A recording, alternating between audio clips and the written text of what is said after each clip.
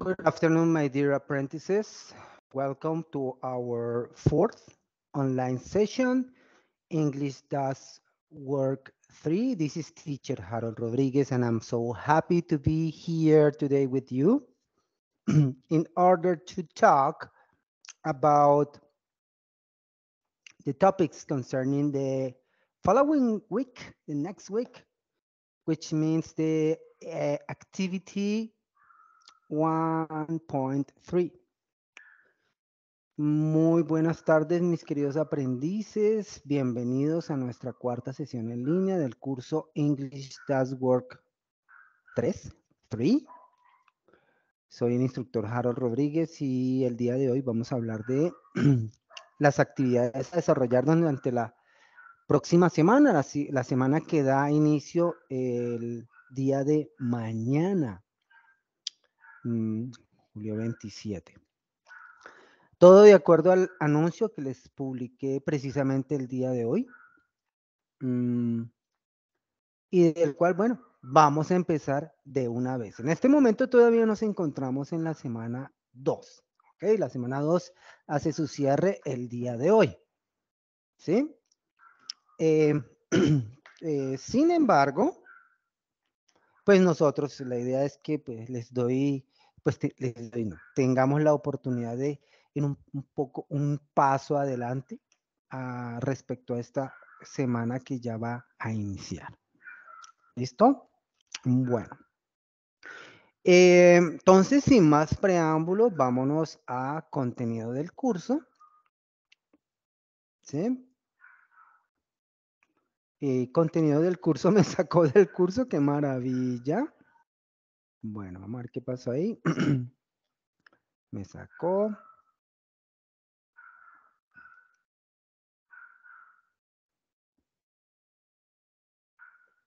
Bueno, vamos a ver si ahora sí. Contenido del curso. Yes. Ahora sí. Contenido del curso. Proyecto. ¿Cierto? Carpeta proyecto. Y nos vamos a la carpeta que dice actividades de aprendizaje guía. Creo que ustedes ya, lo, ya saben cómo se maneja. Todos los cursos son lo mismo. Voy a iniciar con la guía de aprendizaje. Solo para que, mm, bueno, sigamos en la secuencia en cuanto a lo que eh, venimos realizando desde las semanas anteriores, semanas 1 y semanas 2. ¿Sí? Bueno, entonces voy a abrir aquí la guía. Voy a hacer clic aquí. Ah, pero por aquí la tengo abierta. Bueno, vamos a abrirla desde aquí. Listo, abrir en Firefox. Aquí está la guía. English That's Work Level 3. Mm, bueno, están los tres resultados de aprendizaje. y aquí es a donde quiero ir. Llamémosle el cronograma, la tabla de actividades. Entonces, semana 1, semana 2. La semana 1 eh, fue para el desarrollo del test. ¿Recuerdan ustedes? ¿Cierto? La semana 2, en la cual nos encontramos todavía, corresponde al foro Let's Go Shopping. O sea, hoy quienes no lo han realizado lo pueden seguir realizando, pero vale decir, perdón, que la fecha límite sigue siendo el 11 de agosto. O sea, si no lo han hecho hoy, no se preocupen. Tienen hasta el 11 de agosto. Ahora, la idea no es que esperen hasta el último día, ¿no? Sino pues que haya oportunidad de hacer correcciones si ese es el caso. Bien. Entonces, en la semana 3, la que empieza mañana, ya hay otra evidencia a presentar, ¿cierto? Es una evidencia que se llama presentación sobre actividades cotidianas. Entonces, lo que vamos a hacer ahorita es desarrollar el, material de estudio, ¿cierto? ¿Cuál es ese material de estudio? Mm, por aquí está. Material de estudio. What are you doing? ¿Qué estás haciendo? Este es el material de estudio que queríamos trabajar hoy. Confirmémoslo aquí en el anuncio. En el anuncio dice, estudiar el material de aprendizaje. What are you doing? ¿Qué estás haciendo? Ah, estamos bien. Entonces, bien. Entonces, hoy vamos a tratar este material. What are you doing? What are you doing? ¿Qué estás haciendo? y de acuerdo a ese material es que vamos a desarrollar esa guía. Entonces, vamos primero a ver el material y luego les hablaré de esa tercera evidencia, que es, es, es, aquí está, que es la presentación sobre actividades cotidianas. ¿Listo? Bueno, entonces lo dejo ahí listo para ahora más adelante. Regreso aquí a el contenido del programa, ¿sí? Entonces vamos, no, vámonos con el tercer y último material de estudio, ¿vale? Componente formativo. What are you doing?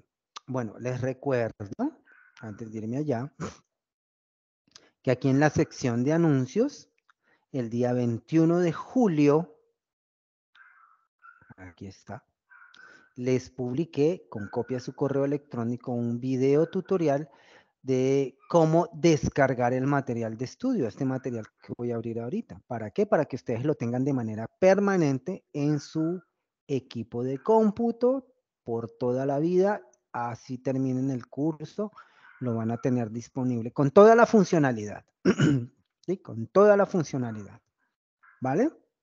Em, de pronto lo único que requerirían en un momento dado es que tengan acceso a internet para que puedan ver los videos, pero todo, todo, todo va a funcionar perfectamente. Ah, bueno. Entonces recuerden ese video, no lo pasen por alto y, descarguen el material. Bueno, entonces regreso aquí a Territorium, dice guía de aprendizaje, entonces vamos a hacer clic para, ah, perdón, componente, what are you doing, clic, ese es nuestro material. Componente formativo. What are you doing? ¿Qué estás haciendo? Entonces vamos ahora sí a ese recurso educativo. Vamos a hacerle clic. Listo. What are you doing? ¿Qué estás haciendo? Entonces, voy a leerles rápidamente. En este documento se presenta la tercera parte del tercer nivel de English Does Work, en la que se desarrollan contenidos concernientes a las actividades habituales y en progreso, utilizando los adverbios de tiempo y de frecuencia, así como conectores que le permitan expresarse claramente de forma oral y escrita en inglés. ¿Listo? Bien, perfecto. Eso es lo que vamos a ver aquí. Vamos a ver el contenido y aquí está la introducción. Voy a cambiar en el modo en que estoy compartiendo con ustedes en este momento. Voy a cambiar a pantalla completa para que podamos escuchar el audio.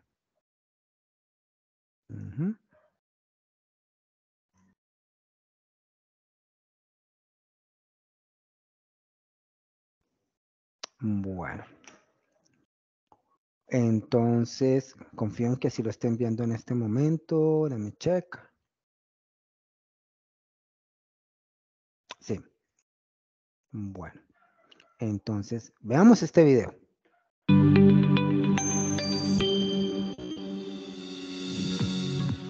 Doing? Introduction. Bienvenido a la tercera parte de nuestro tercer nivel.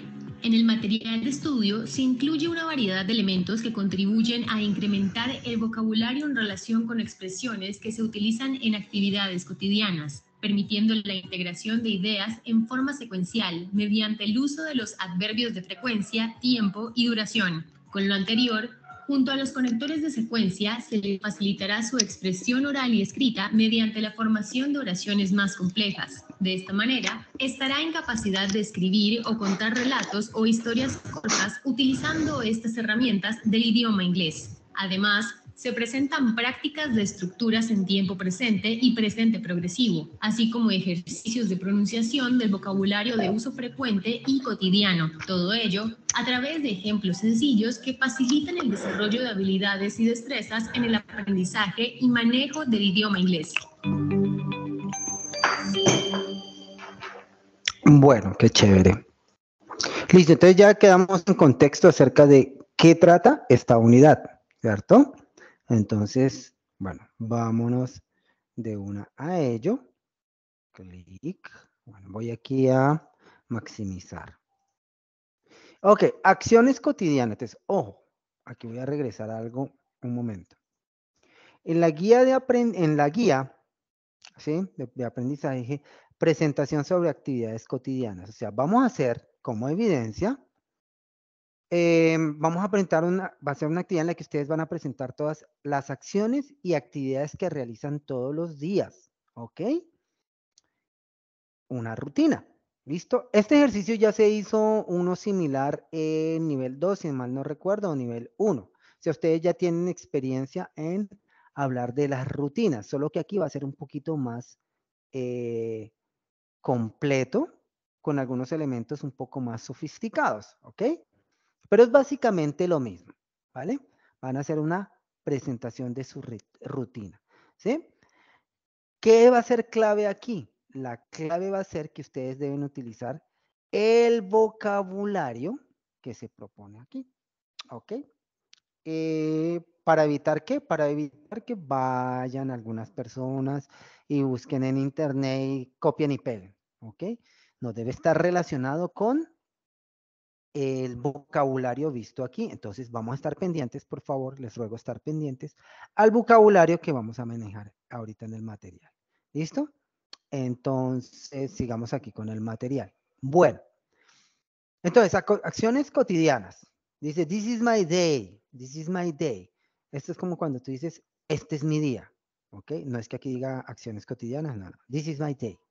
Bien, sabemos que todos tenemos una rutina, ¿cierto? unas cosas que hacemos de manera eh, repetida todos los días, ¿cierto? Como levantar, bueno, despertar, levantarnos, darnos un bañar, sorry, bañarnos o tomar una ducha, preparar el desayuno, etcétera, etcétera. Hay otras cosas que no son rutinarias, pero hay cosas que a lo largo del día uno hace, hace y lo hace todos los días, ¿vale? Bien, hay unas actividades o, o unas rutinas que tenemos en casa y hay unas rutinas o actividades que tenemos en el trabajo o en el lugar de estudio. ¿Listo? Eso es lo que vamos a trabajar aquí, lo que nos va a mostrar en este material. Entonces, miremos, de las rutinas diarias o actividades en casa. Entonces, mira, aquí hay maravillosamente, ¿sí? Una relación, un relato de una rutina diaria de una chica que se llama Claire.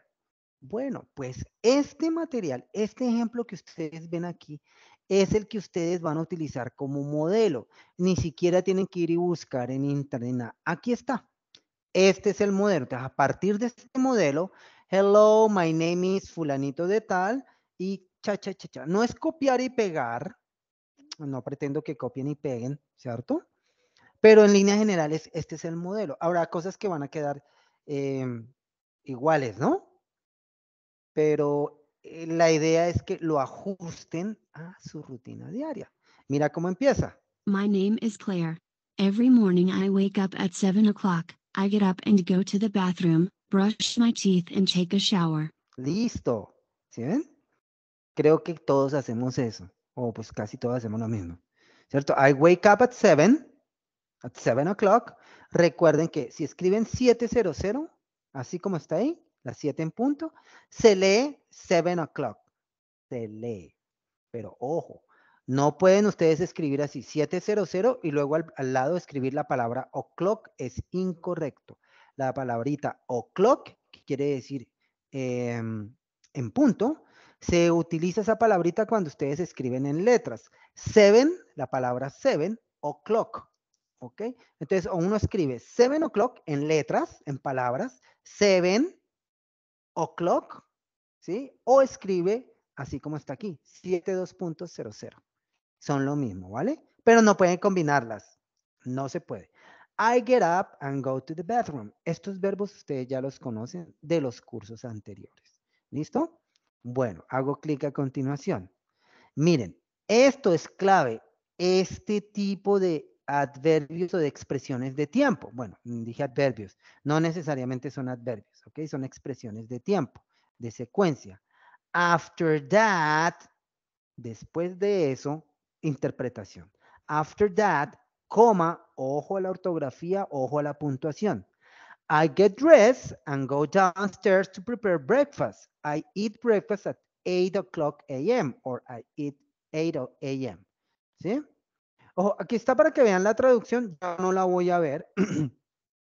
Espero que ustedes comprendan sin necesidad de traducir, porque la única forma efectiva de aprender inglés es sin traducir, tratando de comprender. Y mira, aquí nos muestra este verbo, get dressed, cuando dice I get dressed.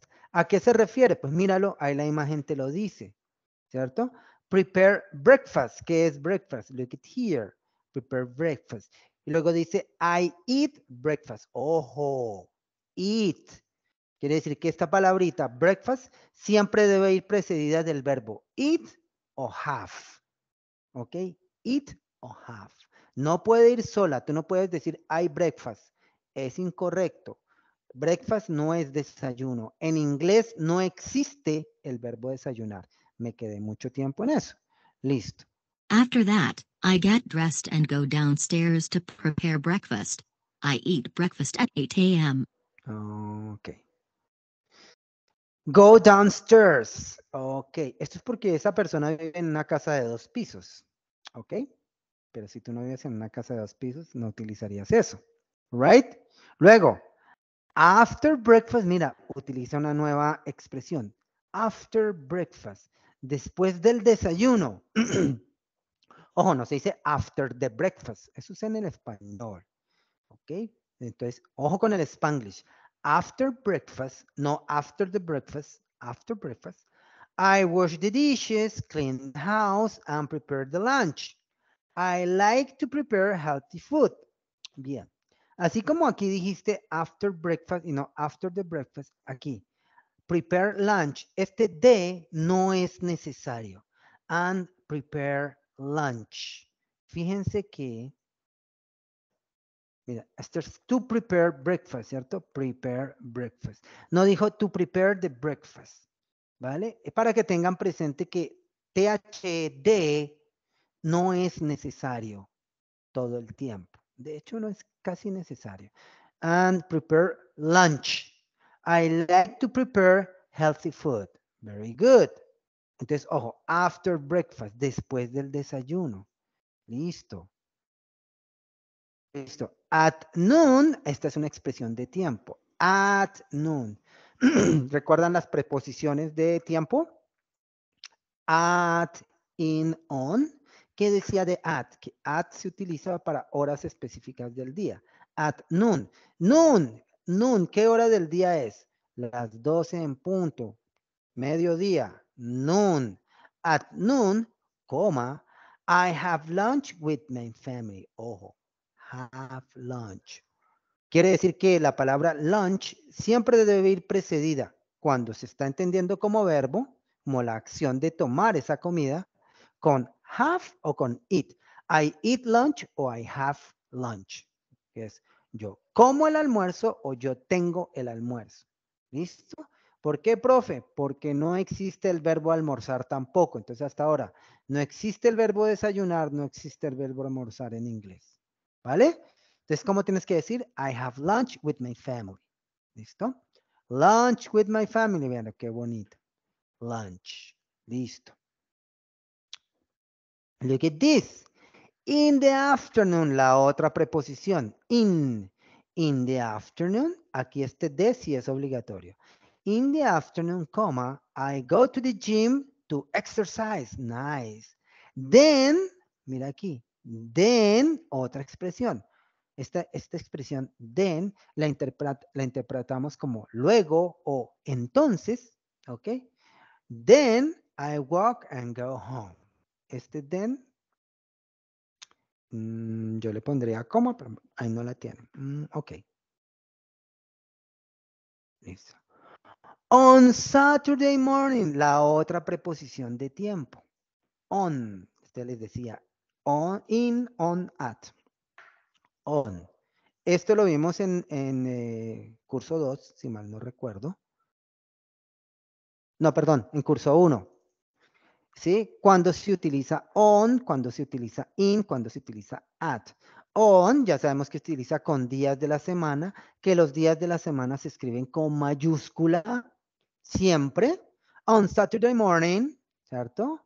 Aquí nosotros diríamos en español, el sábado en la mañana. ¿Cómo se dice el sábado en la mañana en inglés? On Saturday morning. ¿Cómo se dice el domingo en la mañana en inglés? On Sunday morning. ¿Y cómo se dice, profe, eh, los lunes o el lunes por la mañana? On Monday morning. Ah, y miércoles, profe, te quiero corchar.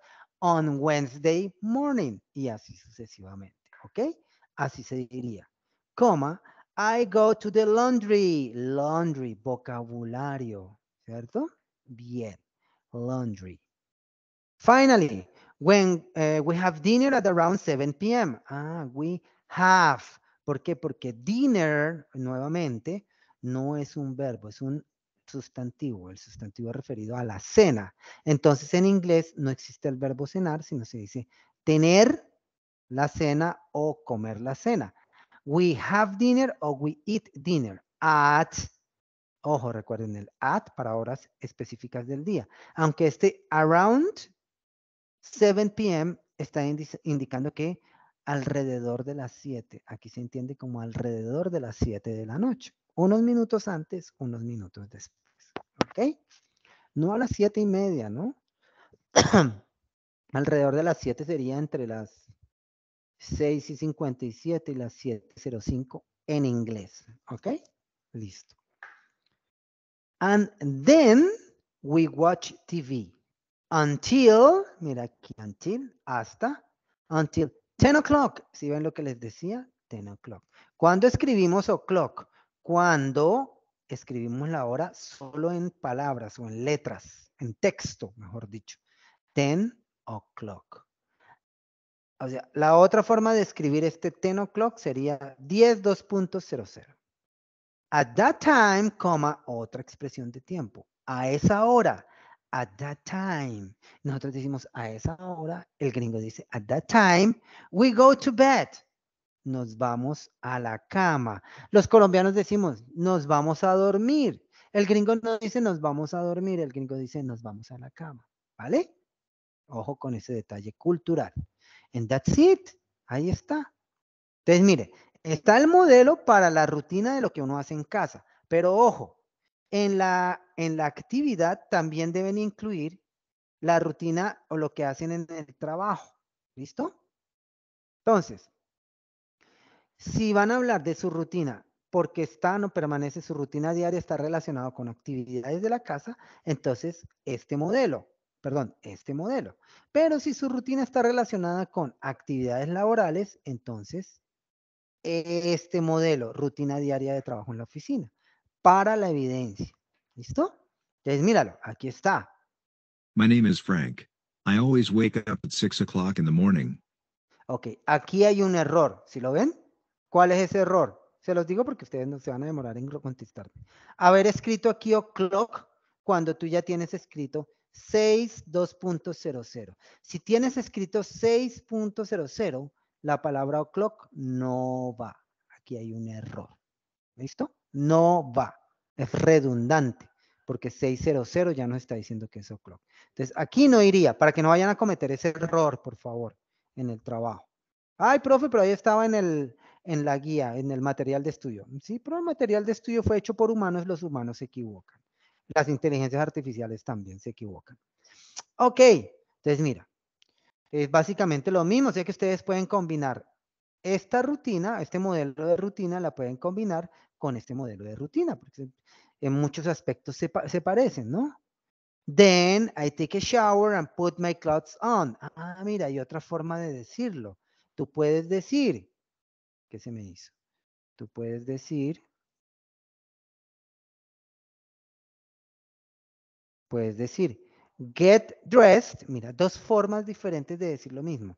Tú puedes decir get dressed o puedes decir put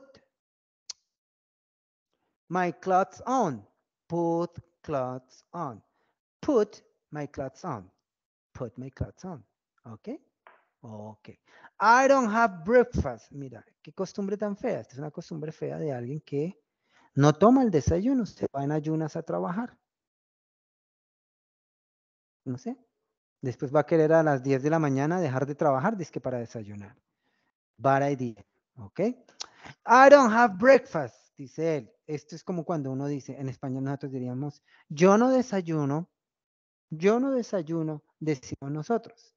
En inglés se dice I don't have breakfast. Ok, modelo. Ok. I go to work by bus. Nueva expresión. Bueno, esta expresión ya la conocía.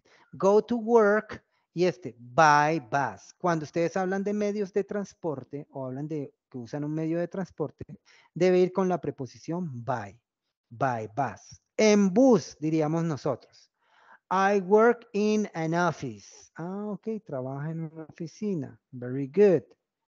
There, mira, there, como allá o allí, I write letters, then I must sort files and put them in their folders. Ojo, aquí él está haciendo una descripción de lo que él hace en el trabajo. Entonces, ustedes obviamente harán una descripción de lo que ustedes hacen en su trabajo. Este señor, ¿sí? Debe organizar archivos y colocarlos en sus respectivas carpetas, en sus folders. ¿Ok? Él también escribe cartas. I don't know what kind of, of letters. No sé qué tipo de cartas. Ok. At noon, mira, similar al de arriba. At noon, comma, I have lunch in the cafeteria with my colleagues. Colleagues.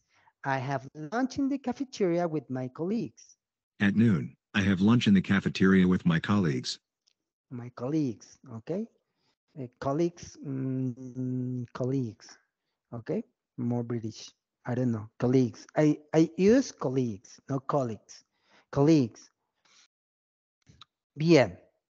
Entonces, mira la diferencia sutil eh, en cuanto a, a lo que hace a la hora del almuerzo. Right. I get off work, I get off work, así se dice, salgo de la oficina. Dice, I get off work at 4 p.m. Ojo, este off es con doble F. Si lo dejan con una sola F, error garrafal. ¿Ok? Deja de tener sentido. ¿Ok?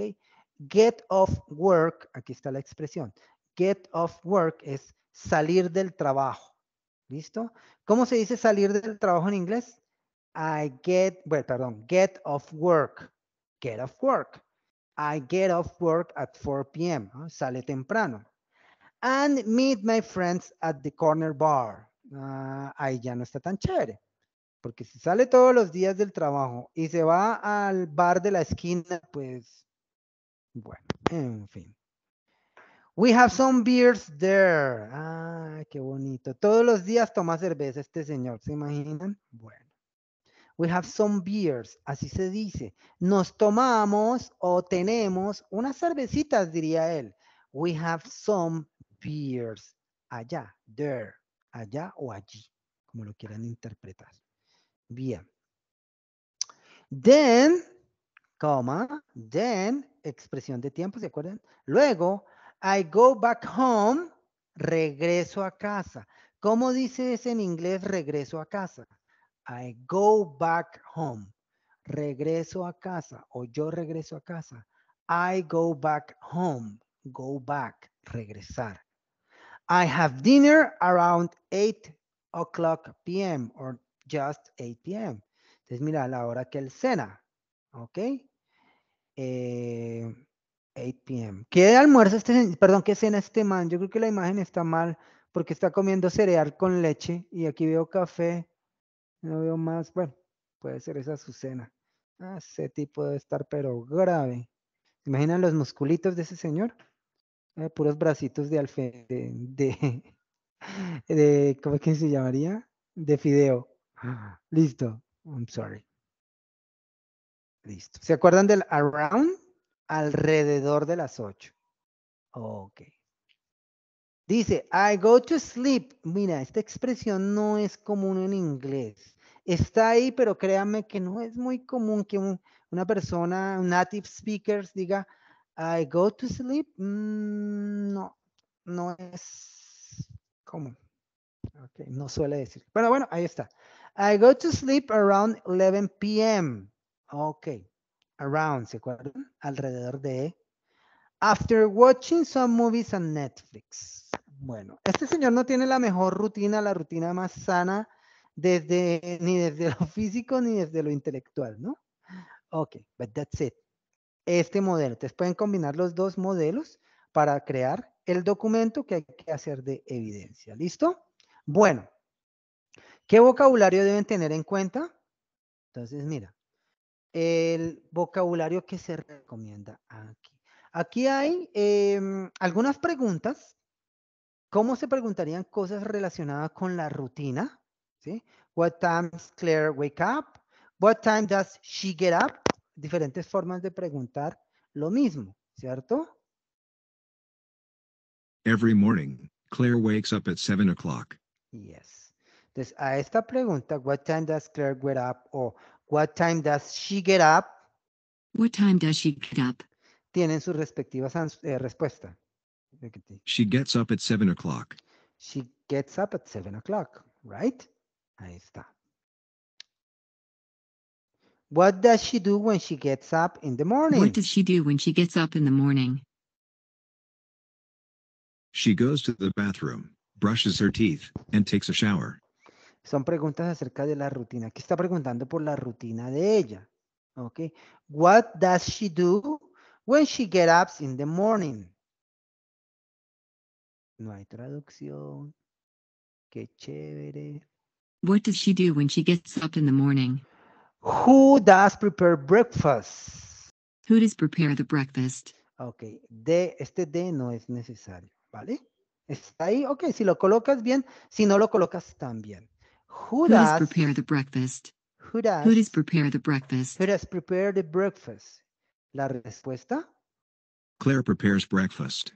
Claire prepares breakfast. Bueno, esto está muy chévere porque ustedes pueden ver no solo modelos de las preguntas, sino cómo se responderían.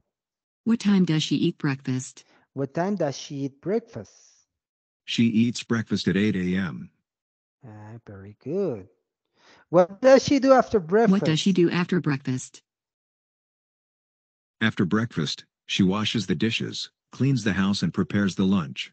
and prepares lunch. Y así sucesivamente. ¿Vale? Entonces, se los dejo ahí porque pues, si me quedo ahí no nos alcanza el tiempo. Bien. Aquí hay unos enlaces a Linge y a Word Reference. eh, ya los hemos visto en, en sesiones anteriores. Eh, son muy buenos enlaces que les permiten ver, encontrar palabras con su em, definición a ver. Y su pronunciación. ¿Ok? Entonces, ¿cómo se pronuncia, teacher? Breakfast. En inglés estadounidense, Breakfast. en inglés británico. Breakfast. Lo mismo, ¿vale? No se difiere. Hay cosas en las que no, no hay mayor diferencia. ¿Ok? Bueno, breakfast or breakfast. Eh, pues a ver si dice algo más acerca de breakfast. Eh, ah, sí, aquí está, míralo. Es un sustantivo, no es un verbo, es un sustantivo. Su plural, breakfasts. Right? Pronunciación. No está. Pronunciación de breakfasts. Listo. Es el lingue y el otro word reference. Bueno, que este es eh, básicamente un diccionario traductor. ¿Listo? Ahí les queda para que practiquen con eso. Bien. En cuanto a rutina diaria de trabajo, bueno, también tenemos aquí una serie de preguntas. What time does Frank wake up? Ajá, y están sus respuestas. Frank always wakes up at 6 o'clock in the morning. Ah, ok, very good. What does he do when he gets up in the morning? He takes a shower and puts his clothes on. He doesn't have breakfast. Perfecto. Todas son respuestas relacionadas con la rutina que él nos ha hablado. Entonces, les dejo ahí para que, por favor, pues lo estudien. ¿Listo? Bien. Continuemos. Entonces, ya vimos cómo va a ser eh, la evidencia, ¿cierto? De dónde lo van a sacar. Está chévere, está fácil porque sale de la primera sección. Listo. Aquí viene algo más de tipo eh, gramatical. Habla de la estructura gramatical del presente simple y del presente progresivo. ¿Ok? Entonces, aquí está el presente simple, simple present. y el presente continuo o presente progresivo. Está su correspondiente estructura, ver, sujeto, verbo principal, complemento, sujeto, verbo to be conjugado, gerundio del verbo principal y complemento si lo hay. Miren, están los diferentes ejemplos. Marco takes the bus. Celine sings very well. Mario walks in the park. Recordar que cuando se hace la tercera persona, lleva sonido de S, entonces se dice takes, no se dice take, sino takes. No se dice sing, sino sings. No se dice walk, sino walks. Para la tercera persona, la tercera persona del singular. He, él. She, ella. It, él o ella, objeto o animal. Cuyo pronombre no existe, cuya equivalencia en español no existe. Bien. Miren los ejemplos del presente continuo. Marco is taking the bus. Ajá. They are singing very well. ajá. You are walking in the park. Todos utilizan la misma forma, el ing del verbo. Bueno, la diferencia es, em, bueno, mm, el presente simple habla de acciones rutinarias, o sea, de rutinas, habla de hechos que siempre son verdad o de hechos que se consideran eh, mm, permanentes, ¿ok? Em, listo. El presente progresivo básicamente se utiliza para expresar actividades que se están realizando en este preciso instante, que empezaron hace poco, que se están realizando en este instante y que seguirán realizándose en el, futuro inmediato, ¿vale? Y utilizan el gerundio, en inglés ing, en español ando, endo. Ejemplo, en español, presente simple, yo trabajo, ¿cierto? Yo trabajo todos los días en el SENA. Y presente continuo sería, yo estoy trabajando en este momento en mi oficina del SENA. ¿Sí? Hay una diferencia sutil, pero importante. Bien. Están las formas afirmativas del presente simple, véanlos aquí, una tabla bien bonita. recordando lo del sonido de S para la tercera persona. ¿Sí? Y está la tabla de las formas afirmativas del presente progresivo. Present continuous, que también se llama presente continuo. Present continuous or present progressive. Aquí está.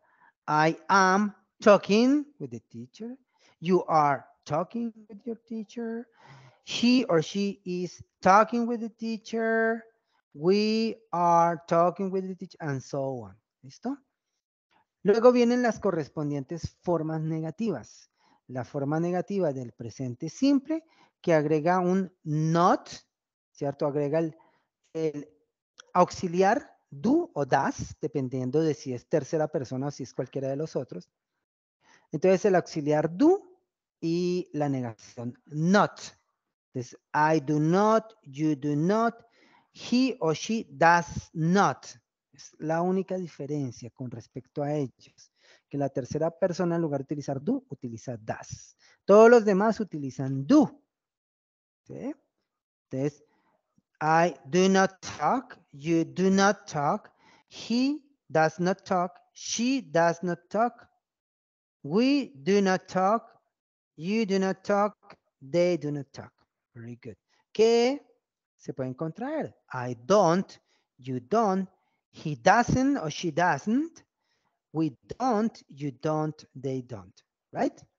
Y está la forma negativa ¿sí? del, del presente continuo, que es mucho más fácil. Es solo meter un not, la palabrita not, antes del gerundio. ¿sí? Antes del gerundio. Y obviamente después del verbo. Antes, inmediatamente antes del, del verbo en gerundio, se mete la palabrita not y quedó negado. I am not talking, you are not talking, he is not talking or she is not talking. We are not talking, they are not, or you are not talking, they are not talking. Right? Easy, muy fácil. Y las correspondientes formas interrogativas que simplemente es intercambiar Para el presente simple, intercambiar el auxiliar con el sujeto y agregar signo de interrogación al final. ¿Listo? Y en el presente continuo es intercambiar posiciones entre el sujeto y el verbo to be. Am I talking with the teacher? Are you talking with the teacher? Is he or she talking with the teacher? And so on. Muy fácil, realmente. Les dejo esa tablita. Bien. Vienen dos expresiones bien interesantes. ¿Sí? Eh, son palabras para enlazar frases u oraciones. Eh, se consideran conjunciones. ¿Ok? Una conjunción une dos oraciones. ¿Listo? Entonces, em, aquí estas dos conjunciones son when y while. When la vamos a interpretar con, como cuando, de hecho eso es cuando, y while se va a interpretar como mientras. Ojo la pronunciación. While, while, while. Bueno, hay quienes pronuncian while hoy en día. Bien. ¿Cómo se utilizan? Entonces, mira, aquí hay un ejemplo de cómo utilizar when.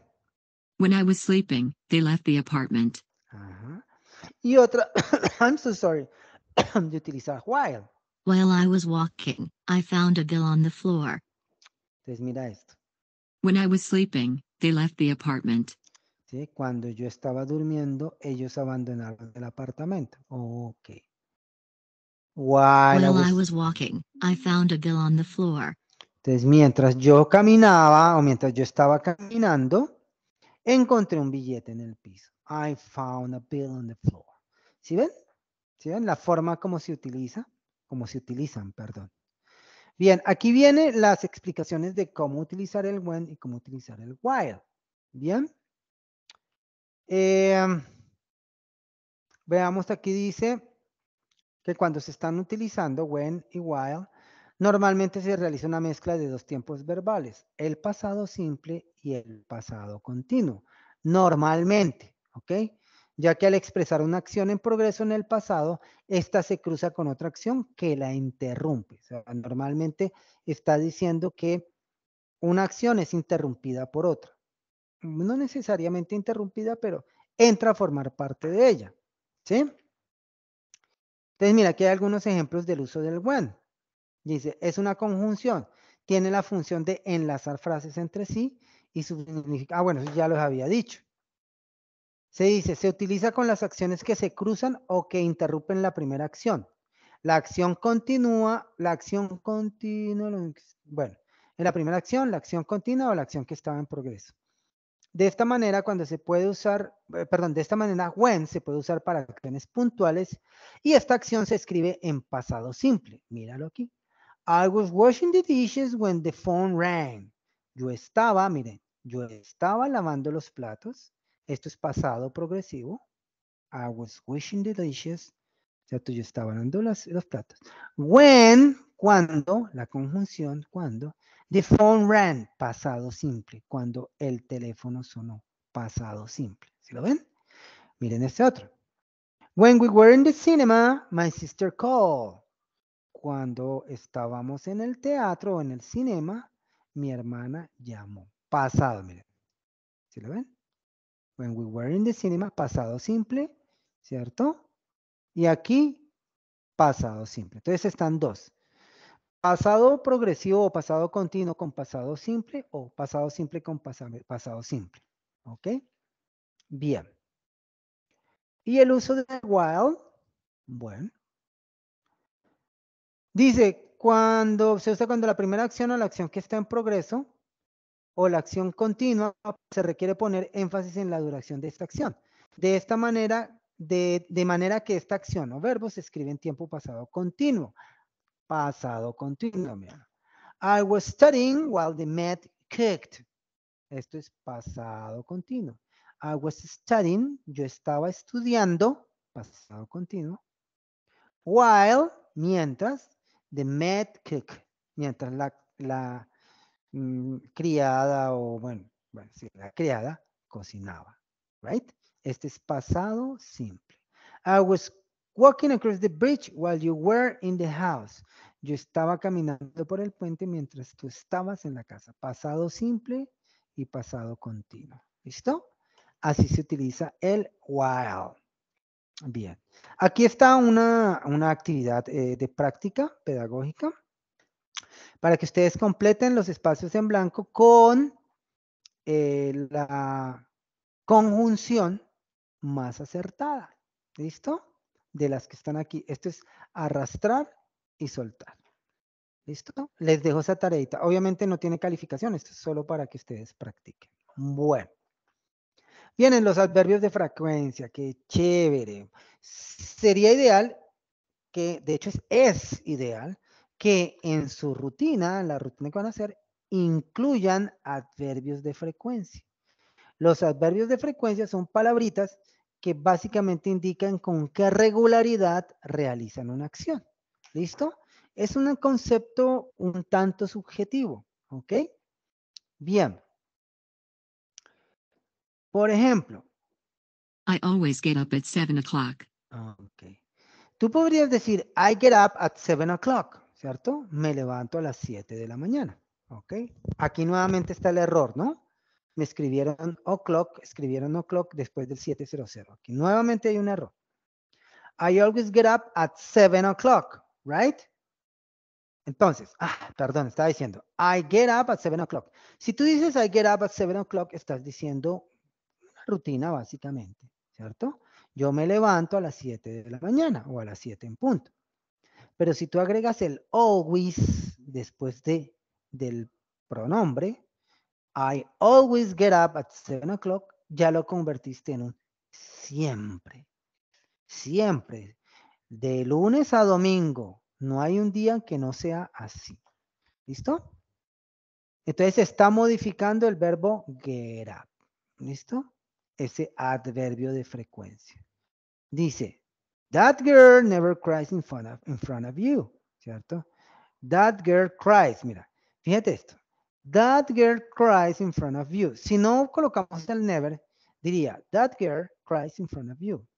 Dice, esa chica llora enfrente de ti. ¿Cierto? Pero si cambio o coloco un adverbio de frecuencia, puedo cambiar todo el sentido de la oración. Podrías utilizar el never, en cuyo caso es este ejemplo.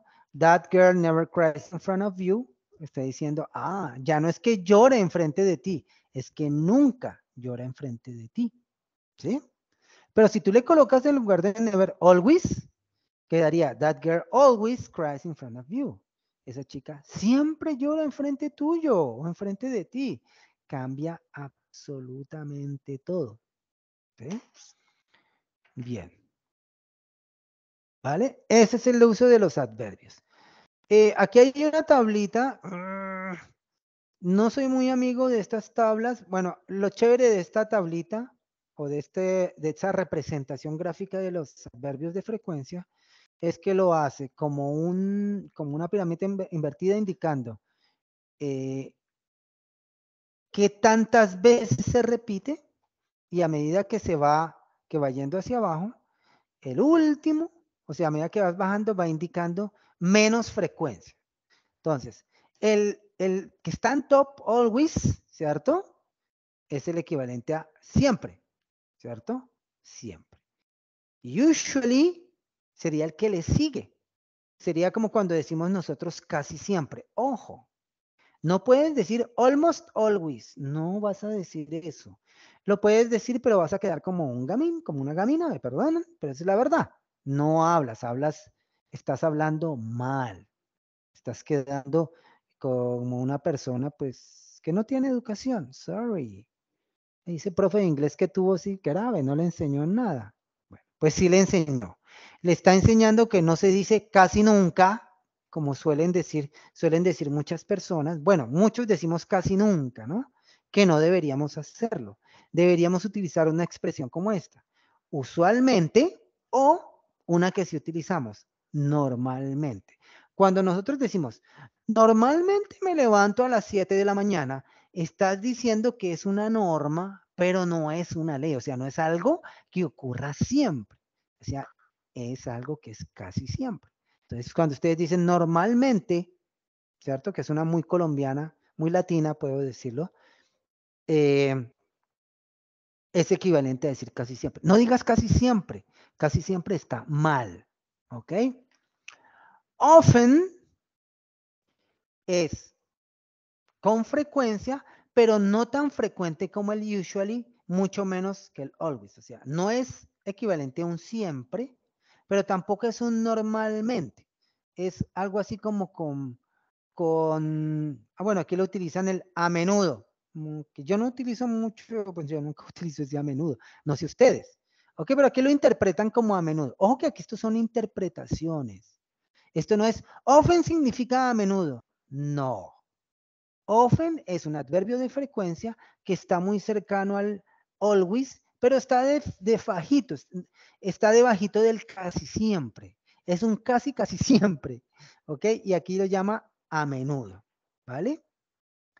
Frequently, bueno, esto se puede manejar así, pues precisamente porque la palabra se parece al frecuentemente.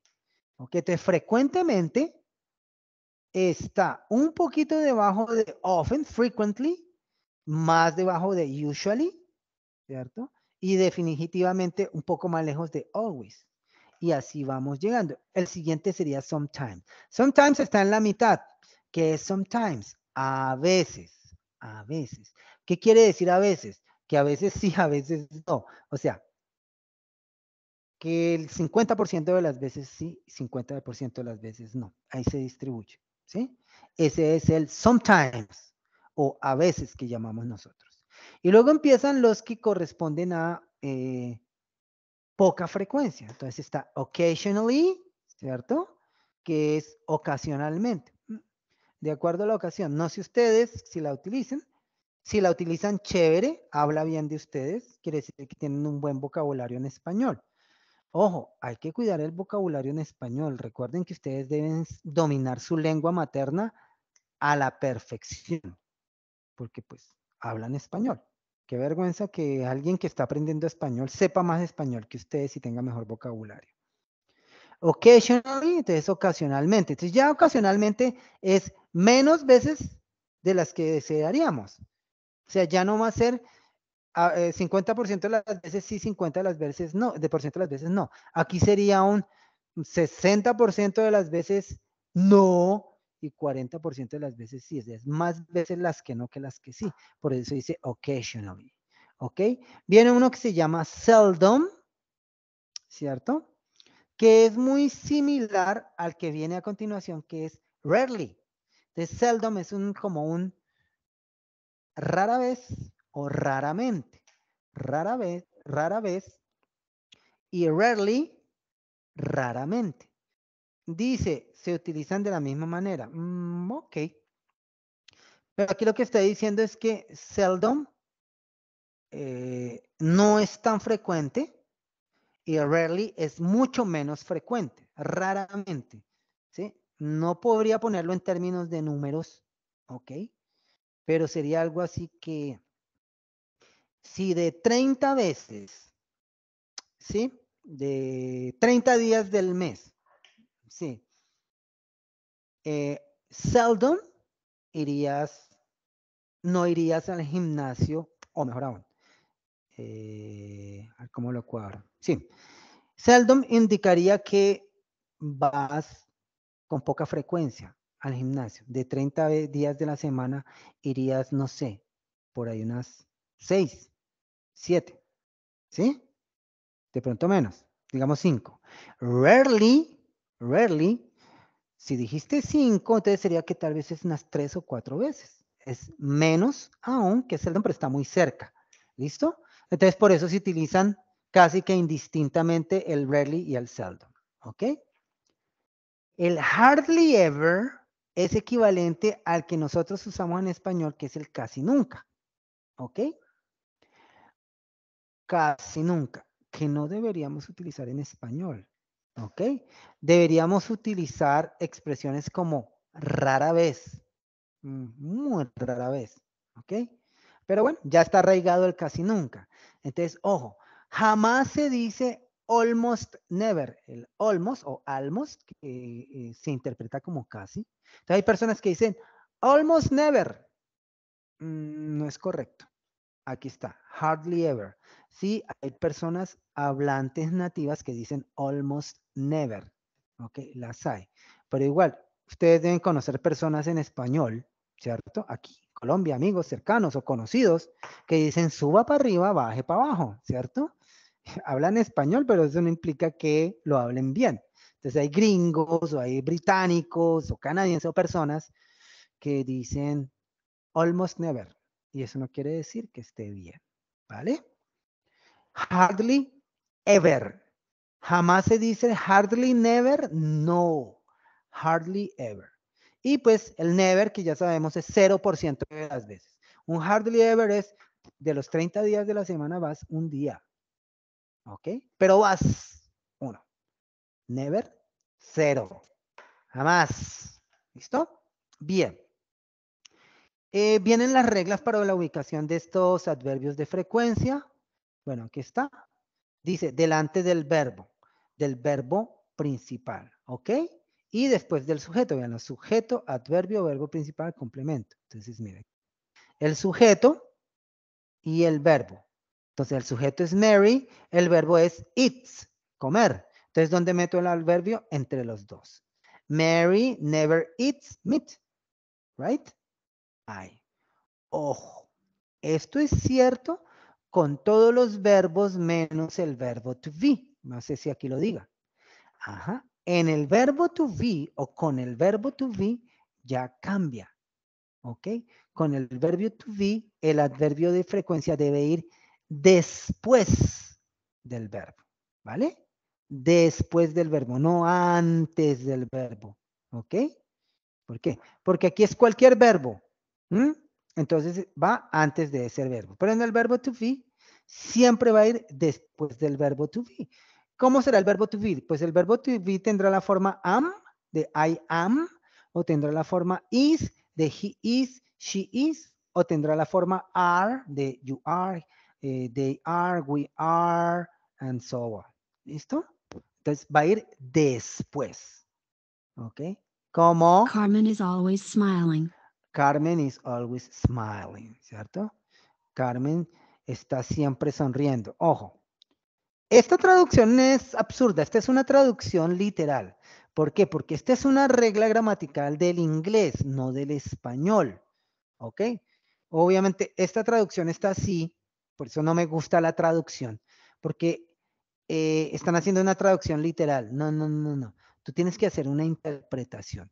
O sea, nosotros decimos, Carmen siempre está triste o Carmen siempre está sonriente. En español, nosotros sí podemos colocar el adverbio de frecuencia, ¿cierto? Antes del verbo to be, ¿cierto? Yo siempre estoy feliz. Yo siempre estoy, siempre estoy, perdón, antes del verbo cero estar, ah, sorry. En español sí lo podemos hacer. De hecho, lo hacemos. Si se hace lo contrario, suena raro. Y mírenlo aquí en esta traducción literal. ¿sí? Carmen está siempre sonriente. Este, ok, tú lo ves aquí, dices, sí, se puede. Pero si ustedes lo leen, dicen, pero suena raro. Carmen está siempre sonriente. No, Carmen siempre está sonriente, ¿cierto? Bill eh, was never on time. Bueno, dice Bill nunca estaba a tiempo. Mm, yo diría Bill nunca estaba a tiempo. ¿sí? O Bill Mm, was never on time. Mm, Bill never was on time. Aquí sí lo hicieron bien. Pienso. Aquí dice, Bill estaba nunca a tiempo, mira, ¿cierto? Si lo traduces literal, aquí dice, Bill estaba nunca a tiempo. Jamás. Por eso aquí sí no se atrevieron a hacer esa monstruosidad, porque hubiera quedado horrible. Aquí lo tradujeron como es. Bill nunca estaba a tiempo. Fíjense que aquí colocaron el adverbio después del sujeto, antes del verbo cero estar, aunque aquí no cumple con eso, ¿vale? Para que lo tengan presente. Esta interpretación, no lo voy a llamar traducción, interpretación sí está correcta, no es literal, es interpretación. Aquí se pusieron a hacer una, una traducción literal y quedó feo. Confío que hayamos quedado bien. Mucha carreta del profe. Em, dice, si el adverbio está acompañado, está acompañando un verbo modal u otro auxiliar, se incluye delante del verbo principal. Ah, ok. Delante del verbo principal, como aquí. Carol has never seen the sea. ¿Cuál es el verbo principal? Este. Seen, visto. Carol has never seen the sea. Carol nunca ha visto el mar, ¿cierto? Nunca ha visto el mar. Va después del auxiliar antes del verbo principal. En español no. En español, fíjense que nuevamente está enseguida del sujeto. Carol nunca ha visto el mar. Si se hiciera una traducción literal sería, Carol ha nunca visto el mar. Y eso sería horrible, ¿cierto? Bien. Un argumento más para no hacer traducciones, se hacen interpretaciones. A veces el adverbio de frecuencia puede ir al principio o al final. En tal caso, ¿cierto? Debe ir separado con una coma, como aquí. Sometimes, coma, I get up very late, ¿cierto? A veces me levanto temprano. O I get up very late, sometimes. También lo puedes colocar al final. Entonces, en el primero, a veces me levanto tarde. O me levanto muy tarde, a veces. Bien, entonces mira, existe esa posibilidad. Mm, no sirve para todos los verbos, perdón, no sirve para todos los adverbios. ¿Para cuáles adverbios sirve? Para los adverbios usually, frequently, sometimes, often y occasionally. ¿Ok? Esos adverbios. No, no puedes hacerlo con always. Queda rarísimo. O sea, no, queda horrible. Ni siquiera raro, queda horrible. ¿Listo? Bien. Ah, aquí hay otras expresiones chévere. Esas les recomiendo que las aprendan. Son muy buenas a uno. Eh, no se las enseñan en el colegio, en el inglés del colegio, pero sí se las enseñan cuando uno estudia inglés en alguna, algún sitio. Bueno, en, en los institutos de donde tú vas a aprender a, hablar inglés, sí te enseñan este tipo de expresiones. Infortunadamente, en el colegio, sea, mm, mm, bueno, otro tipo de cosas. Voy a entrar ya aquí en mi experticia como docente, ¿cierto? En maestría de docencia. Em, en los colegios, en el colegio, pues son muchos estudiantes, ¿cierto? Un solo profe o una sola profe. Entonces resulta que, y muy poco tiempo, una hora, tal vez, o hora y media. Entonces es muy difícil ayudar o lograr que las 40 personas que están ahí eh, lo hablen, ¿cierto? Pues que cada uno, ok, ahora tú, ahora ti, good morning. Ah, es muy difícil, bueno, es imposible, ¿sí? Entonces, no nos enseñan el inglés para hablar, sino nos enseñan pura gramática, gramática, gramática, ¿right? Entonces, mira, estas, por eso no ven ustedes estas expresiones o, las, o los cuentos que yo les estoy echando aquí. Entonces, mira esta expresión. From time to time, ¿sí? de vez en cuando. Buena interpretación. From time to time. ¿Ok? From time to time, I go to my parents' house. ¿Sí? De vez en cuando voy donde mis padres. Ok. Ok. Once in a while. Once in a while. ¿Ok? Es equivalente a este de vez en cuando. Once in a while. ¿Ok? Once in a while I call you at work. De vez en cuando te llamo al trabajo o la llamo al trabajo. ¿Listo? Y esta otra, every now and then. Ah, expresiones son chéverísimas. O sea, ustedes utilizan estas expresiones y están hablando ya inglés, ¿ok? Every now and then, every now and then, you sing in the shower. Es lo mismo. Todas son equivalentes al de vez en cuando nuestro en español. ¿Ok? From time to time, once in a while, every now and then. Every now and then. ¿Ok? Every now and then. Nice. Bien. Uh, que hay otras expresiones bien interesantes como every day. Ojo, every day, que aquí está en singular, pero se interpreta como todos los días en español. O sea, en español la frase equivalente es plural. En inglés es singular. Every day. ¿Ok? Monthly, monthly, que es mensualmente. Once, la profe dice 11. Dice once y es una vez. Una vez. Twice. Twice. Esto que viene aquí, twice. Dos veces. ¿Ok? Ustedes miren esta expresión. Twice a week. Dos veces a la semana.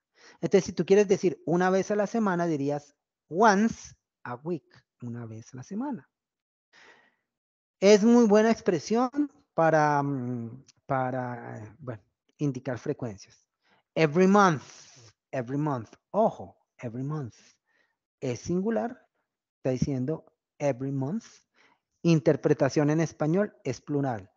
Todos los meses. Así se interpreta, así lo decimos nosotros en español. ¿Sí?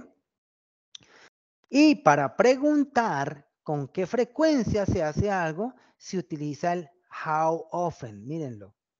How often. Pueden preguntar también how frequently. ¿Ok? Pero lo normal es how often. Se interpreta como qué tan seguido, qué tan seguido. O how frequently, que se puede interpretar como que qué tan frecuentemente y luego la pregunta. How often do you go to school? O how frequently do you go to school? ¿Ok? Entonces, tener eso presente. ¿Listo? Miremos las expresiones que están aquí. How often do you go to school? I go to school every day. Every day. Hay que tener cuidado con esta expresión. Every day. Si tú dices every day, implica lunes, martes, miércoles, jueves, viernes, sábado, domingo. ¿Ok? Entonces aquí lo que está diciendo esta niña es que ella va de lunes a domingo. Y no sería correcto. ¿Vale? No es acertado la pregunta, la respuesta. Podría decir, I go to school from Monday to Friday. Esa sería más acertada. ¿Ok? Tal vez la pregunta no es muy buena. Te querían darnos un ejemplo de every day. ¿Sí? Entonces tú podrías hacer una pregunta como, How often do you go to the gym?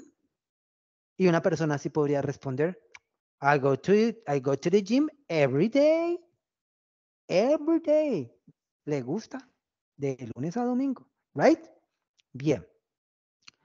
How often does Mike go to the dentist? Ok, aquí este ejemplo es para mostrar que si estás con tercera persona, en lugar del do, utilizas el does, right? Utilizas el does. Here. Okay. How often does Mike go to the dentist? Mike goes to the dentist once, once a year. Ah, pero qué chévere la respuesta. Aquí está estas expresiones. Once, una vez, una vez. Once a year, una vez al año. ¿Ok?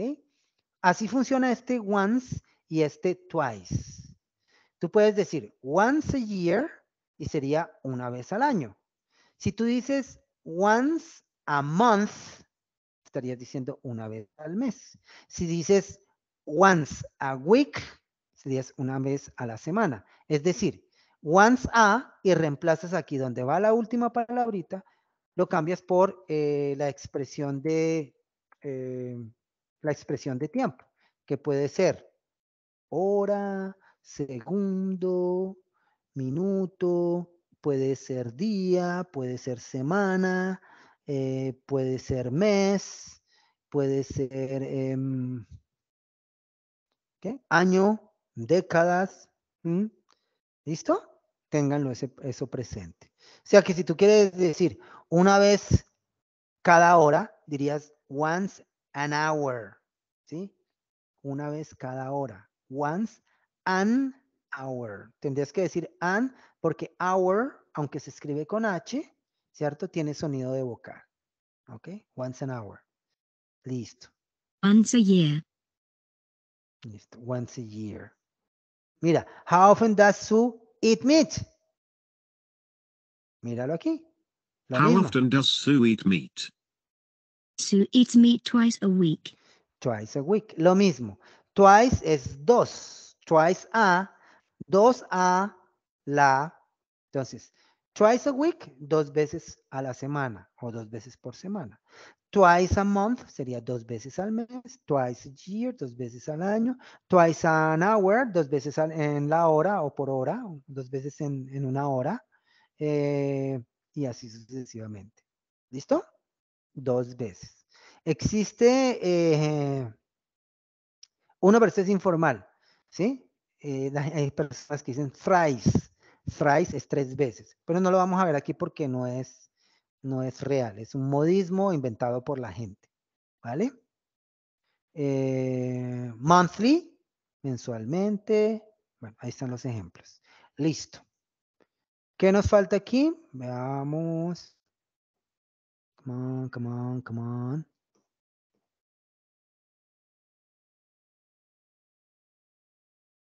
Ay, no quiso avanzar. Déjame check qué pasó aquí.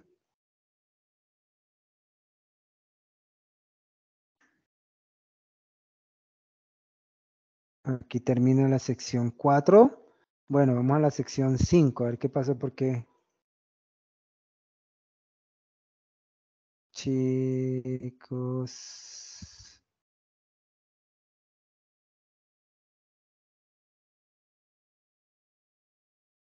Me confirman que me estén escuchando porque creo que se me bloqueó el equipo. Me confirman que me escuchan y que me ven bien. Buenas tardes, profe. Sí, señor, lo estamos escuchando y lo estamos viendo bien. Ok, es que parece que se me muestra a ver si deja recargar. Ah, sí es que me sacó. Otra vez me sacó las bellezuras de territorio. I'm so sorry, kids. Ahora vuelvo a entrar. Ya decía yo. Sorry, sorry. Ya, ya vamos a terminar. Mentiras, los estoy mintiendo. Pero digamos que sí. Bueno, entonces regreso, sal de ahí. Seguimos en free. Bueno, pero vamos claros, ¿sí? Voy a cerrar esto aquí. Eh, Ajá. Vuelvo, entro a contenido del curso, me tocó hacer todo, proyecto, actividad de aprendizaje guía, componente 3, what are you doing? Right, vamos para allá, listo. Entonces vamos en, vamos para el 5, ¿cierto? Listo. Cierro aquí. Bueno, aquí nos va a hablar de los adverbios de tiempo y adverbios de duración. Em, son palabritas, ¿listo? Que les recomiendo que aprendan, ¿ok? El uso del now, del today, ¿ok? Now, today, tomorrow, tonight, tonight. Ojo, no es tonight. La G es eh, muda. Todas las, palabras que terminen en GHT, la GH es muda. Entonces suena, es la T, tonight, ¿ok? Tonight, ¿sí? Luz se escribe L-I-G-H-T, se pronuncia light, ¿ok? No existe la G, es muda. Bueno, ok. Eh, yesterday, recordarles que esta Y no se pronuncia como pronunciamos nosotros yuca, ¿cierto? Que nosotros decimos yuca. Me gusta la yuca en mi sancocho, ¿right? No, se pronuncia como deberíamos pronunciar yuca, porque la Y es una I, yuca. Obviamente si ustedes dicen, no quiero yuca, les van a hacer bullying, ¿no? Ah, no. Pero en inglés sí hay que hacerlo. Yesterday. No es yesterday, my dear. Remember? Yesterday. Yesterday. Yes. Okay. Yesterday. Yes. Right? Okay. Yesterday. Later. Last month. El mes pasado. Bueno, hasta ahí llega. Last month. Right? Bueno, ¿qué más tenemos aquí? Ah, eso fue todo. Ah, no, mentiras. Aquí, bueno, un ejemplo de cuando, bueno, ustedes van, juegan con esto. ¿Dónde colocarían el now, el ahora? Now, lenguaje de señas. Now, o el today, today, to me. Yesterday, tomorrow, bueno, today. El hoy. Tenemos unos adverbios de duración. Ah, ok. For y since. Ojo la pronunciación. For, bueno, eso es fácil, for. Pero este, hay personas que dicen science. No, no es science, es since. ¿Ok? Since. For se interpreta como por. Ojo, cuando estamos hablando de expresiones de tiempo. Se interpreta como por. Porque en otro tipo de oraciones se interpreta como para. Pero cuando son expresiones de tiempo, se utiliza o se interpreta como for. Y since, ese es fácil, siempre se interpreta como desde. Desde. ¿Ok? Para eh, expresiones de tiempo. Nada más. No se utiliza para eh, expresiones de lugar. ¿Ok? Para expresiones de lugar, para decir desde, se utiliza el from para evitar confusiones futuras. Entonces, look, look at this. Gabriel stayed in Miami for six months. ¿Ok? Entonces, este for se utiliza para indicar un periodo de tiempo. ¿Listo? Gabriel stayed in Miami for six months, ¿cierto? Gabriel se quedó en Miami por seis meses, no durante, porque durante hay una expresión que es el during. During, ¿ok? Entonces aquí está diciendo que Gabriel se quedó en Miami por seis meses o estuvo o trabajó allá por seis meses, right? At this. I worked there for two years. Trabajé allá o allí por dos años. ¿Sí? Mira, por, por. Uh, you have been waiting for a week. Has estado esperando por una semana. ¿Cierto? Uh, they were in prison for a decade. Ah, estuvieron presos por una década. Qué belleza. Uh, the doctor held his head for several minutes. Okay. El doctor sostuvo su cabeza por muchos minutos. Several. Por algunos no. Mm, por muchos. Bueno, por varios minutos. Démoslo así, miti miti. Marian was in coma for a day, por un día. For a day, for a long time, por un largo tiempo. ¿Sí ven? Lo interpretamos como por. Chris studied English for a semester. Chris studied English for a semester. Ok, semester, semester, no. Semester, para mí es semester, sorry. Never mind. Listo, por un semestre. ¿Listo? Si quieres decir durante, utilizas la expresión during. During se escribe D-U-R-I-N-G. During, during one week, during a week, ok, durante una semana. Listo. Y since, fácil, desde. Gabriel stayed in Miami for six months. Eh, está mal la oración, está mal el audio. Es Betty has been living in that house since 2012, desde 2012. Recuerden que en inglés esto se dice en parejas. 2012. Betty ha estado viviendo en esa casa desde 2012 o desde el 2012. ¿Listo? Ok. El audio está mal. No le presten atención a ese audio. You haven't come home since Thursday. Mm, no has venido a casa desde el jueves, sin vergüenza. Since, desde. Dylan hasn't been back to work since January. Okay.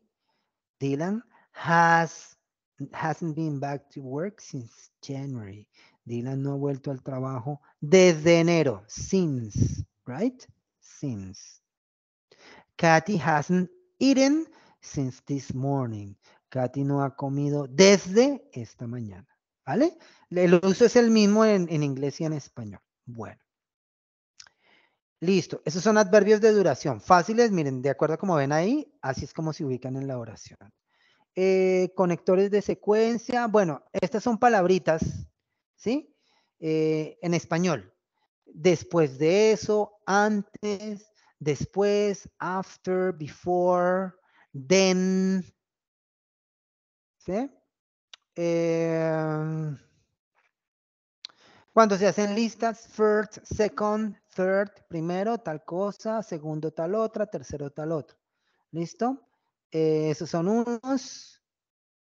Después de un conector, bueno, yo creo que esto no suma nada.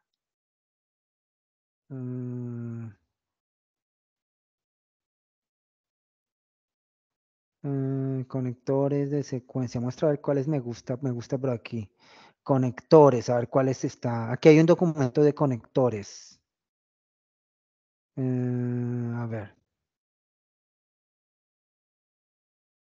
Aquí está. Conectores de adición, ¿cierto? Then, ese es un conector. As well as, ese es otro conector. Otra vez, then. Bueno, me colocas ahí otra vez el then. ¿Sí? Ese es uno. Ese es conectores de adición, conectores copulativos. Entonces tenemos but o but also. ¿Ok? But also, sino también. Bueno, but interpretado como sino o in addition. In addition. Ese es otro conector de estos. Conectores disyuntivos. em, eh, ok, el or. Ok, or aquí está haciendo como disyuntivo. O el nor. Bueno, debe ir precedido de un neither y luego el nor. Este es equivalente a este en español. Ni, ni.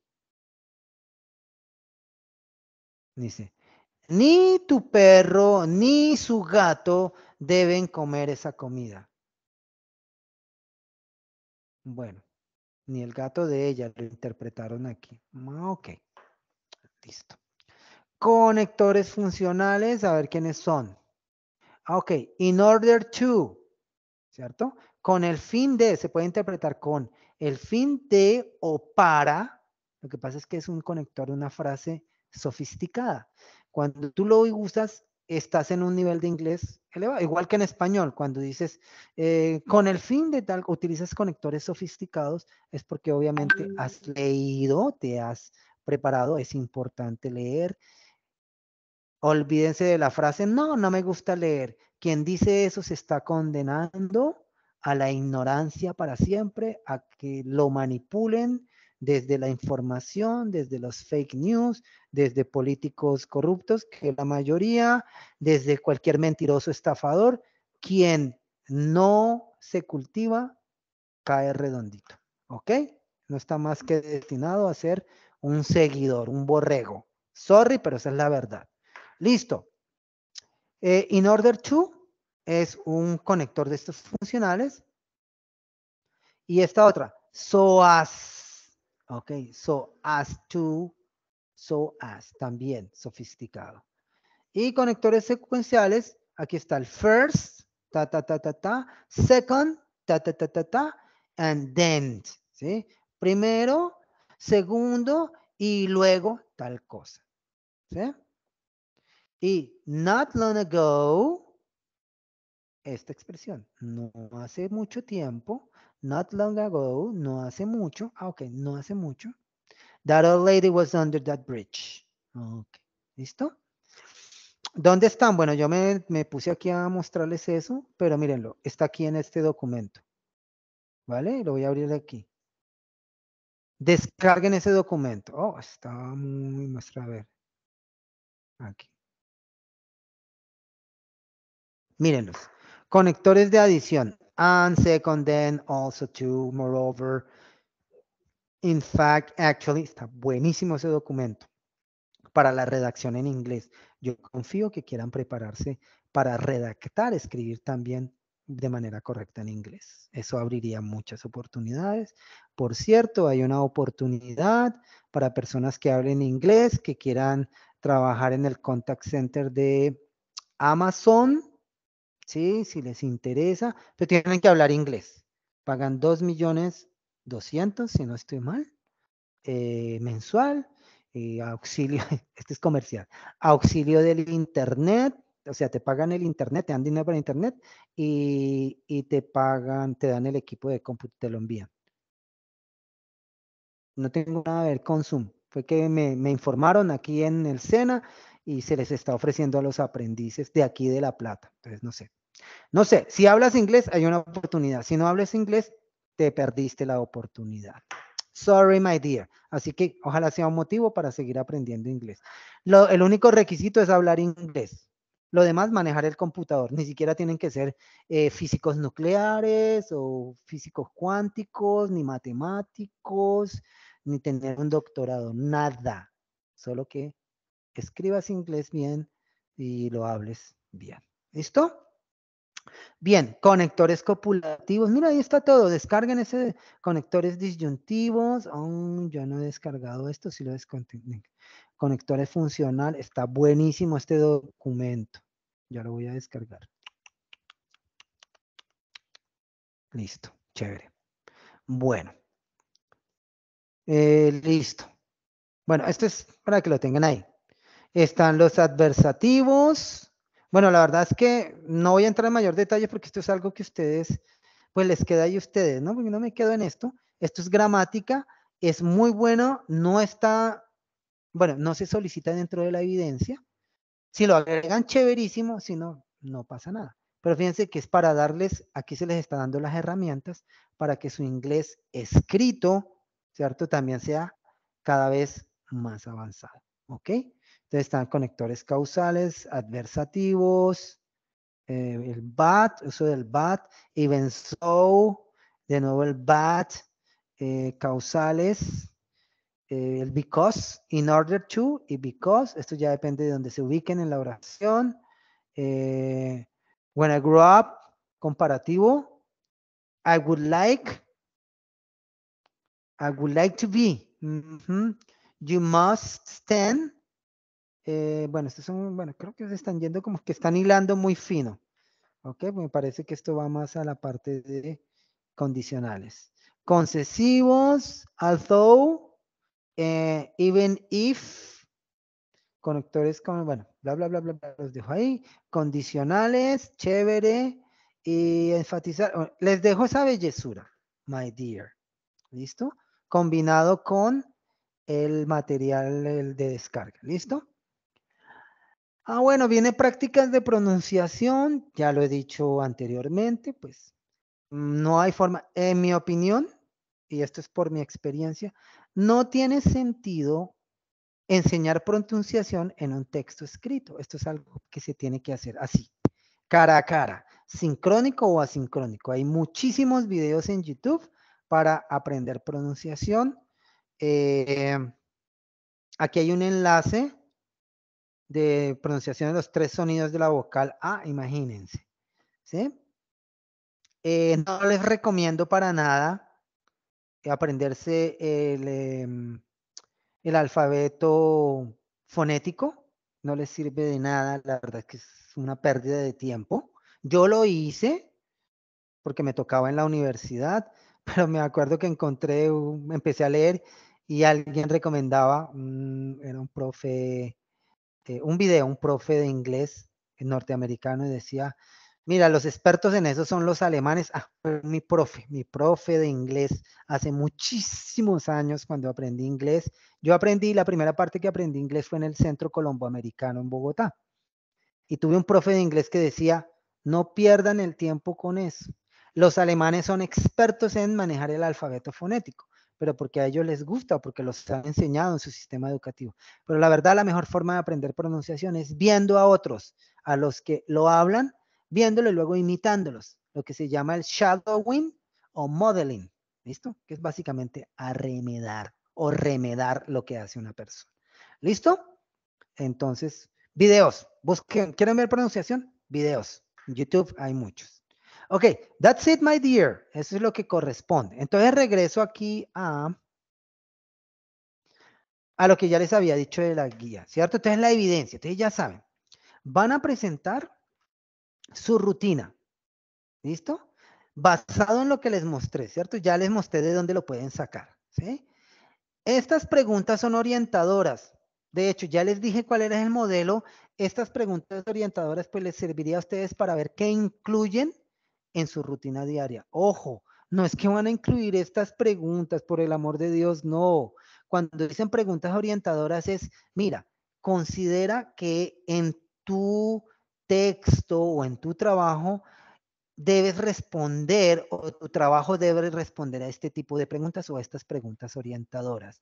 Cuando te dicen eso, te están indicando que no debes incluir las preguntas, pero que tu texto respondería a ellas. La persona que lo lee diría, ah, ya veo qué preguntas, a qué preguntas responde. ¿Sí? Bien. Son orientados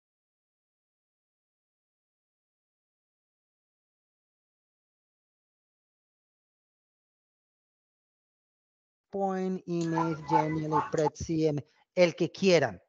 ¿Ok? El que quieran. ¿Qué me van a entregar? Si lo hacen en PowerPoint o cualquiera de estos, pueden descargarlo y convertirlo a PDF. Y entonces me suben el PDF. PDF. ¿Listo? De esa presentación. O me pueden enviar el enlace. Ojo, que sea el enlace de visualización no el enlace de compartir. Deben tener muy claro. Hay un enlace de compartir trabajo, que es un enlace que tú llegas y compartes y es para que yo entre y entre a editar el trabajo. Y como yo no tengo cuentas, por ejemplo, en emails, no tengo cuenta en Prezi, ¿sí? Y en muchos otros, entonces me obliga, me dice, para poder ingresar o para poder editar, tienes que registrarte. Y yo no me quiero registrar. Entonces, que sea el enlace para visualizar, que cualquiera pueda visualizar, o mejor aún, guárdenlo como un PDF. Normalmente se los deja guardar como, como PDF o como PDF, please. ¿Listo? Entonces envíen el PDF o el enlace, yo veré. Bien, debe tener una diapositiva de portada, ¿sí? y las diapositivas de todas las actividades que coloquen ahí. ¿Vale? Por lo menos, o sea, mejor aún, debe parecerse, no porque sea obligatorio, my dear, sino porque...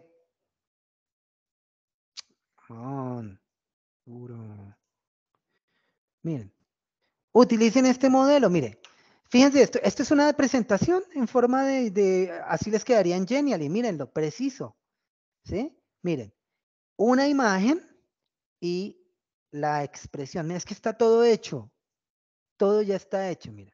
Debe tener su diapositiva, su trabajo, esto.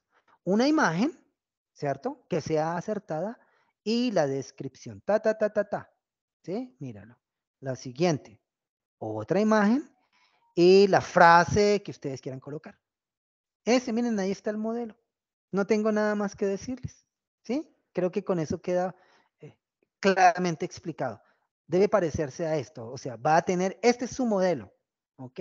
No es que obligatoriamente tiene que quedar así. Estoy diciendo, ese es este modelo. Fíjense, en este modelo que tenemos, tenemos que cada diapositiva tiene una imagen con una o dos de las actividades que desarrolla y aquí su texto de la rutina, su texto de la rutina, correctamente escrito, con la ortografía correcta, la puntuación correcta, ¿sí?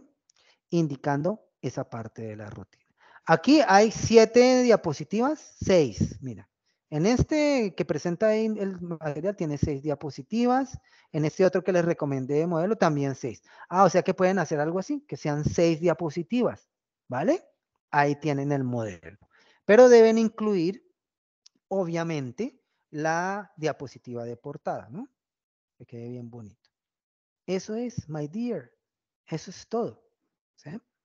Eh, dice que pueden realizar una práctica, muestra vez que dice aquí. Ah, bueno, que si quieres, puedes enviar la pronunciación. La verdad, yo lo dejaría para que ustedes de manera autónoma, autogestionada, responsable, lo hicieran porque ustedes quieren aprender, practicar la pronunciación. Es decir, leerse, leerlo, practicar y hacerlo muchas veces hasta que mejoren. ¿Listo? Eso podrían hacerlo, no están obligados a hacerlo. Listo. Entonces ahí está, archivo en PDF, me dice mínimo 10 diapositivas. Mm, ok, yo ya dije 6. Entonces entre 6 y 10 diapositivas no menos, por favor. ¿Listo? ¿Por dónde lo van a enviar? Bueno, creo que ustedes ya saben cómo enviarlos, ¿no? Aquí, por contenido del curso, desde donde dice actividad de aprendizaje 1, ¿cierto? Se desplazan a la derecha. La primera fue el test, ya estuvo. La segunda fue el foro, ya estuvo. bueno, está haciendo, aquí está la tercera. Presentación sobre actividades cotidianas. Simplemente se desplazan hacia abajo con la ruedita y aquí donde dice ver evidencia le hacen clic. ¿Cierto? Y ahí aparece el cuadro de diálogo, enviar evidencia, ¿cierto? Entonces escriben en el comentario, teacher, aquí envío mi evidencia y pegan el enlace y hacen clic en enviar. ¿Listo? O Teacher, aquí está mi evidencia, adjuntar archivo, adjuntan su PDF y enviar. ¿Listo? Eso es lo que van a hacer. Recuerden que lo pueden hacer por ahí, por acá voy a mostrarles por, por contenido del curso, pero también lo pueden hacer desde su página principal, aquí en herramientas, evidencias, botón evidencias, buscan la evidencia que es presentación sobre actividades cotidianas, véanla aquí porque la otra es el video presentación, ese es el último. ¿Cierto? Presentación, actividades cotidianas, entonces le hacen clic. Y vean, nos va a enviar exactamente al mismo lugar. Eh, ahí está. Ahí está, vean. ¿Listo? Ahí está. Exactamente lo mismo. Ok. That's it, my dear. Eso es todo, mis queridos aprendices. Thank you for your time. I don't know whether you have any question. No sé si tengan alguna pregunta. Confío en que todo haya quedado claro. Gracias por acompañarme esta hora y media y un poquito, una hora y treinta y un minutos más o menos. Thank you for your time. Nos vemos la, thank you, Rogers. Nos vemos la próxima semana. Okay. See you next week. Please take care. Take care and see you around. Bye bye. Take care. Bye. Ok, profesor, muchísimas gracias.